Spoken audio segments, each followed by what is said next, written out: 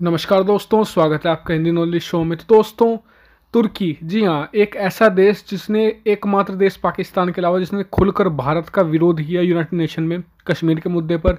और अभी नहीं, आज़ादी के बाद से ही तुर्की एक ऐसा देश रहा है तुर्की, जिसने पाकिस्तान को मिलिट्रली भी सपोर्ट किया है और जो वर्ल्ड स्टेज पर भी, जो पाकिस्तान को सबसे ज़्यादा सपोर्ट तुर्की हमेशा देता रहा है। लेकिन और भारत क्या करता था? अब तक हम अपनी जो हमारी मजबूरियाँ होती थी डिप्लोमेटिक मजबूरियाँ होती थी, हम उनकी वजह से तुर्की को जवाब नहीं दे पाते। दूसरा वो नेटो का अलाई नेटो मेंबर भी है तो हमारा जवाब देना बनता नहीं था। लेकिन अब भारत ने जैसे ही अपनी एक महाशक्ति के रूप में उभरना शुरू किया है तो हमने अब जवाब देना कि तय कर लिया है तुर्की को वो भी तकड़े रूप में। तो वो भी दो तरफा, एक साइप्रस की ओर से, अगर आपने वीडियो देखी ऊपर आई बटन में लिंक आ रहा होगा, डिस्क्रिप्शन में भी डाल दूँगा मैं, आप वहाँ से पहले उस वीडियो को भी जाकर देख सकते हो। तो दूसरा और दूसरा जो एक तरीके से दूसरी रणनीति होगी, वो होगी अर्मेनिया की ओर से। दोनों तरफ़ से तुर्की को घेरने की पूरी तैयारी है और तुर्की में भी इस बात को लेकर पूरी बहस चल रही है कि भारत अब पूरे फॉर्म में है। तो पहले आप जान लीजिए कि अर्मेनिया है कहाँ पर और पूरी आप डिस्प्यूट भी समझ लीजिए तुर्की और अर्मेनिया के बीच का। तो चल दोस्तों, ये रहा हमारा भारत और अब चलते हैं पूरा वेस्ट की ओर। ये रहा तुर्की और तुर्की के बिल्कुल ये रहा, बिल्कुल ईस्टर्न बॉर्डर पे फार ईस्टर्न बॉर्डर पे है अर्मेनिया। ये रहा अर्मेनिया, आप देख सकते हैं। ये रही उनकी बॉर्डर भी। और इसी बॉर्डर को लेकर दोस्तों कई बार डिस्प्यूट है, कई बार क्लैशेज हो जाते हैं जो अर्मेनियन आर्मी और टर्किश आर्मी के बीच भी कई बार बहुत सारे एक इशू भी रहे हैं। इन पर भी हम बात करने वाले साथ ही जो एथनिसिटी को लेकर भी इनके इशू हैं। ये रहा साइप्रस जैसे कि मैंने बताया, दोनों तरफ़ से घेरने की तैयारी है दूसरी तरफ़ से ईस्ट साइड से, जो अर्मेनिया की ओर से और जो नीचे की साइड से है। यहाँ पर साइप्रस को एक तरीके से भारत सपोर्ट करेगा, जिससे कि टर्की को लिए बहुत मुश्किल हो जाएगा दोस्तों। देखिए, आप देख सकते हैं, ये ये कई सारे बॉर्डर को लेकर उनकी डिस्प्यूट है, बहुत सारे जो बॉर्डर गेट्स हैं, उनको लेकर भी एक बहुत सारे इशू हैं। दूसरा एक इशू ये भी है, दोस्तों, आप समझ सकते हैं कि टर्किश प्रेसिडेंट ने कई बार या टर्की के लोग भी अर्मीनिया को हेट की नज़र से देखते हैं। उनके, आपको बता दूँ कि अर्मीनिया में कई बार मास न, बहुत बड़े लेवल पर नरसंहार किया है। ओटोमन एम्पायर ने, जो पहले टर्की का पहले नाम भी कह सकते हैं, उसने बड़े और उसे जस्टिफाई भी करते हैं वो लोग। मतलब कि उस नरसंहार को एक तरीके से जस्टिफाई किया जाता है टर्की लोगों के बीच में टर्की प्रेसिडेंट खुल, खुलकर सामने कई बार ये चीज़ें कह देते हैं कि वो बिल्कुल उस समय के हिसाब से सही किया था हमने। मतलब आप समझ सकते हो कितनी बड़ी राइवलरी है।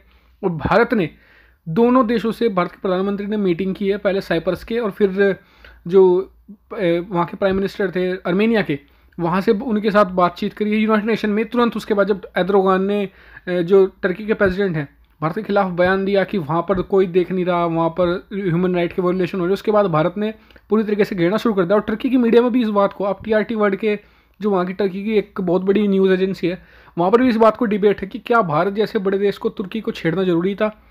मतलब कि तुर्की अभी बताऊँ तुर्की के बहुत सारे अपने बहुत सारे इशू हो रखे हैं। उसकी अब, अब अमेरिका को लेकर तनातनी हो रही है इसके अलावा उसकी इकोनॉमी भयंकर आप समझ रहे होंगे इकोनॉमी का मैं बताऊँ हाल क्या है। वहाँ पर उनकी जो मुद्रा है वो पचास परसेंट तक गिर गई। यानी कि ऐसा मान के चलिए कि भारत आज जैसे कि रुपया डॉलर के खिलाफ सत्तर रुपये है तो वो उनका हिसाब से एक सौ चालीस यानी दुगना हो चुका है। उनकी इकोनॉमी बिल्कुल क्रम्बल करने वाली है। और जो एद्रोगान है, वो खुद हार एक बार हार चुके हैं इस्तांबुल के इलेक्शन में। और मैंने पिछली पिछली वीडियो में बताया था कि इस्तांबुल, तुर्की में वो अहमियत रखता है जो भारत में उत्तर प्रदेश, यानी कि वो वहाँ से सरकार बनती है। मेजोरिटी ऑफ़ पीपल इस्तांबुल में रहते हैं तुर्की के। इस तर, उनके लिए सत्ता बनाए रखना एद्रोगान के लिए बहुत बड़ी चुनौती है और वो भारत को चैलेंज कर रहे हैं। इससे वहाँ की इससे इकोनॉमी और क्रम्बल करेगी क्योंकि भारत सपोर्ट करेगा साइप्रस को और अर्मेनिया को वहाँ पर थोड़ी बहुत इन्वेस्टमेंट भी कर सकता है। और साइप्रस के लिए तो लिटरली यही कह दिया प्राइम मिनिस्टर मोदी ने कि हम आपकी इंटेग्रिटी को सम्मान करते हैं अपनी आपकी स्वतंत्रता को हम सम्मान करते हैं। तुर्की को बहुत बड़ा धक्का लगा है डिप्लोमेटिकली मतलब कि अपने आप को एक तरह से खालिफ या खलीफा बनाने की जो सोच है एद्रोगान की उसे भी ये धक्का है, क्योंकि देखिए, भारत जैसी दुनिया की सबसे बड़ी डेमोक्रेसी से टक्कर लेना और वो भी तब जब वो सब एक सुपर बाउंड बनने की ओर है और बड़े बड़े कारनामे कर रही है भारत सरकार और तब जाकर उनसे टक्कर लेना शायद ये समझदारी भरा कदम नहीं था एद्रोगान का। उन्होंने सिर्फ़ ये एक बड़ा मुस्लिम वर्ल्ड लीडर बनने के चक्कर में वहाँ पर बयान दे दिया यूनाइटेड नेशन में। उन्हें उन मतलब कि टर्किश कम, जो कंपनियाज हैं, वो लगातार सोच रही हैं कि भारत में इन्वेस्टमेंट किया जाए ताकि वहाँ पर कुछ उनका सामान खपत हो, उनके एक्सपोर्ट बढ़े, जिससे कि उनकी इकोनॉमी कुछ रिवाइव हो। लेकिन अद्रोगान के जो बयान है ना, ये एक तरीके से चिंता का सबब बने हुए हैं। टर्की के लिए, टर्की के जो बिजनेसमैन हैं, उनके लिए भी। और यही एक बड़ा चैलेंज उनके सामने बनकर फेस हो रहा है। क्योंकि भारत ही एकमात्र ऐसी दुनिया में आपको बता दूँ, भारत एकमात्र ऐसा देश है जहाँ पर डेवलपमेंट के लिए गुंजाइश बची है। नहीं तो देखिए मतलब कि जहाँ के लिए डेवलपमेंट जो ग्रोथ है, वहाँ पर गुंजाइश भारत में ही बची है। अभी आपको बताऊँ, चीन में कोई गुंजाइश नहीं है, ग्रोथ की, वहाँ पर लगातार गिर रही है, अमेरिका में, यूरोप में, हर जगह। लेकिन भारत एक ऐसा देश है जहाँ पर बहुत गुंजाइश है, अभी भी ग्रोथ की, और वहाँ पर इसलिए दुनिया भर की कंपनियाँ आ रही हैं। अमेरिका क्यों नहीं बोल रहा भारत के खिलाफ आजकल? सीधा सा कारण है क्योंकि भारत में बहुत बड़ा बाज़ार है उसका, और भारत के बाज़ार को दुनिया भर एक तरीके से, दुनिया पूरी वर्ल्ड चाहती है कि वहाँ पर कुछ इन्वेस्टमेंट हो, कहाँ, वहाँ पर उनकी कंपनियों का एक्सपोर्ट बढ़े, उनकी इकोनॉमी रिवाइव हो। लेकिन टर्की तो पता नहीं कौन पश्चिम से निकाल रहा है सूरज को? और ये खैर उन्हें फेस करना पड़ेगा हमें क्या?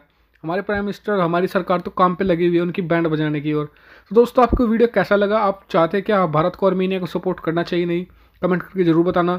वीडियो देखने के लिए आपका बहुत धन्यवाद। चैनल को सब्सक्राइब करना मत भूलना। मैं ऐसी बहुत सारी डिफेंस फॉरन पॉलिसी और फाइनेंस रिलेटेड हमेशा वीडियो लेके आता रहता हूँ आपके लिए। नई नई वीडियो हमेशा आती रहेंगी आपके लिए। तो दोस्तों चैनल को सब्सक्राइब करना मत भूलना। Thank you very much for watching video